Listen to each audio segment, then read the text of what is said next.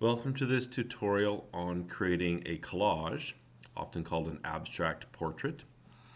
And what we're going to do is take a series of pictures and take pieces of them by cutting them out and pasting them into a document and creating an image of a person using multiple different photos. So you can do this with the same person or a couple different people or a bunch of different people. Just depends on what you're trying to accomplish. So I've got a whole bunch of pictures open, all of the same person, this guy again. And what I'm going to do is create a new document. So the first thing I do is go File New. Now we're going to use Picas because we're copying all our photos into InDesign. And so I want to have a document that will fit in relatively well. So I'm going to go 30 in height by 50 and that will allow me the ability to shrink it down later on. We'll go to CMYK.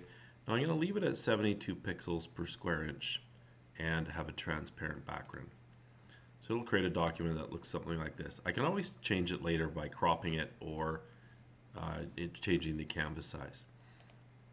So when I go look at these images and the image size, they're all in 72 pixels. So rather than changing everything, I'm just going to leave it as is and go from there. So I have a few different options here. I can use my marquee, select an area that I want, and it will select that area. Then I can go edit, copy, and I can go to my document and I can go edit, paste, and it will paste it in there. Now it's really large because my picture is a lot bigger than my document here. So I can then go image, uh, sorry, edit and transform scale. I'm going to click on this link here so I don't distort it and I'm going to shrink it down to something that's still big but not quite the same size. I can click apply and I can move it around with my move tool and place it wherever I want. See, it's layer one here. So I've used that picture there. I'm going to close it. I don't want to save it. I want to keep my original. And I'm going to go to this one here. So uh, what I'm going to do this time is I'm going to crop it. So this tool here is called the crop tool. And what this gives me is the ability to cut out and place whatever it is I want in the picture. So I'm going to put this picture there on my other picture, the picture from the t-shirt. And instead of going to a different tool and then hitting apply, what I'm going to do is just click the check button here. And then I can go select all, edit copy, and then I go to my document here and I go edit paste. Now it's really big so what I'm going to do drag it down to the bottom and I can go let's go up to edit free transform or transform scale I'm going to link these two here and I'm going to drag it down to something a lot smaller and place it there. Now I'm not sure if I'm going to use it. We'll kind of see how it goes, but we will. Oh, I got to hit enter after I hit transform, or I can click the check mark there. And then I'm just going to move this up a little bit. So I'm not sure if I'm going to keep that or not, but we'll leave it there. You can always change it later. So you have two options. You can use the select tool or the crop tool. Now when I go back to this picture here, I don't want to save this because I want to keep the original picture. So I can either undo by going to the history and going back to my original image. Or I can go back and forth in my history to wherever I want. Or I can simply just close it and hit no, I don't want to save anything. Right? Uh, so I've got another picture here. So I'm going to use the select tool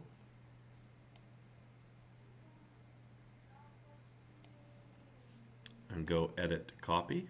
Might be a little easier to do it this way, but it's up to you. and go here and go edit paste. And yikes, I will edit transform scale and I will lock it and shrink it down to something that's manageable. Okay, now very different shades and colors there. That's fine. Uh, I'm just gonna accept that change and I'm done with that picture. I might use that hair. I've always wanted more hair. Huh. Anyways, I've kind of cropped these already. So I'm gonna go select all, edit copy, and edit paste. Edit transform. Now if I go transform again, it'll automatically shrink it down the same as it did last time. It has a memory there. Okay. And then go to this next picture and control A for select all, control C for copy,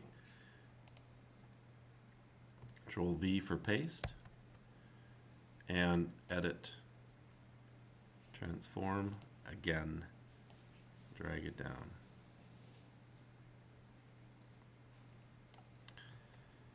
So I've got done with this one. Don't want to save it. Um, I don't have that one, so let's Control A, Control C, paste, and transform again. So I now have a whole bunch of pictures. So I've got some options here. And you can see I've got a bunch of different lighting here, which I could keep, is maybe that's what I want to do. Um, the last thing I'm going to do is create another layer and drag it down to the bottom. And that's going to end up being my background. I'll decide on a color later. So this is my, I'm going to rename them here because it's a good idea. So left eye, nose, right eye, hands, and mouth. Just so I can keep track, because the order will matter. Now, I'm kind of thinking I might not want to use this at the moment, but we'll see. Now, what I want to try and do is line things up. So this one is still fairly big, so I'm actually going to shrink it down a little bit more. And again, you can just play around with it until you're happy with it. So I'm going to shrink that down a little bit and move it down above and select.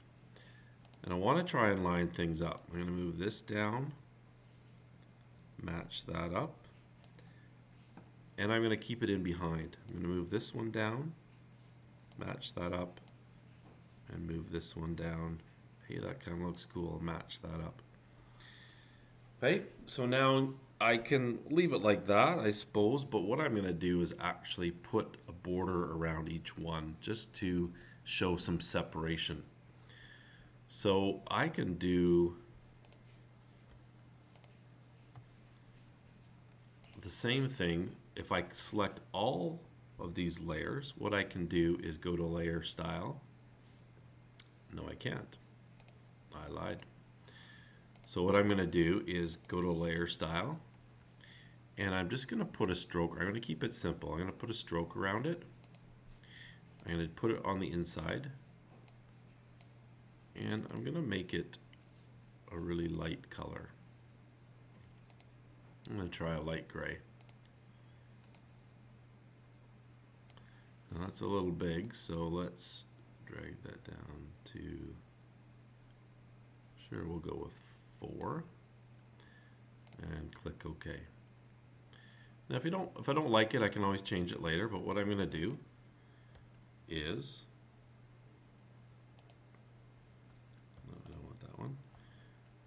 copy them all. So what I can do is I can create one layer style, and then I can select all these layers. So what I did is I clicked and I shift clicked on the bottom layer. And now I can go to layer, layer style. Oh, I can't paste them all at the same time. I thought I could. So one at a time. Layer, oh, you know what? I gotta copy it first, silly me. Layer, uh, layer style, copy. Layer, layer style, paste. So,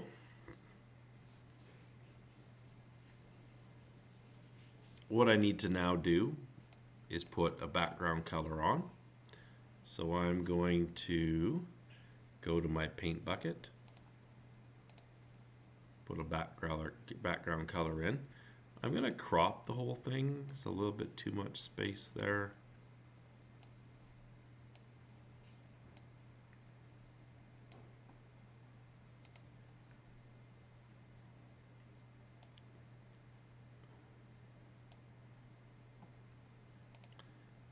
There I've got my now I could, it's pretty good. I'm not quite sold on the gray. I could maybe try a different color. Maybe something a little lighter.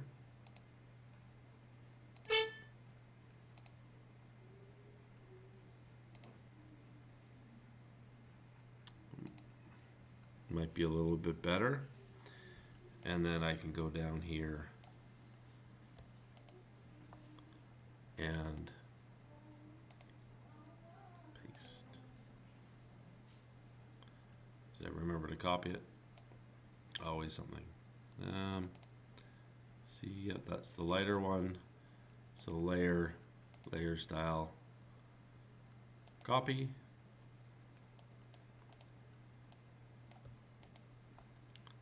Layer, layer style, paste. I like that better. Not quite sold on the green, so what I can do is again my eyedropper tool.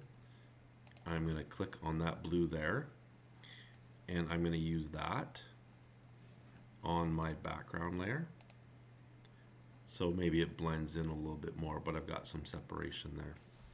And there I have my portrait that is a collage or an abstract portrait.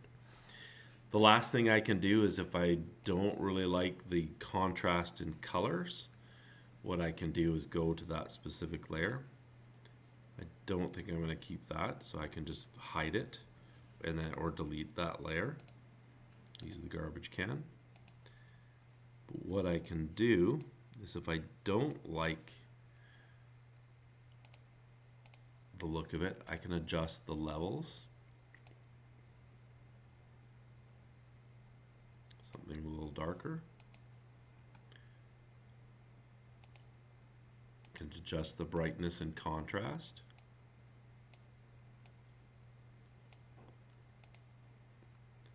And maybe this layer here, the left eye, a little bit too dark. So I'm going to image adjustment levels. And I'm going to drag that down as well. Okay, not exactly the same, which kind of adds to the effect. And this last one, just a little bit too dark. So I'm going to drag the levels up a bit.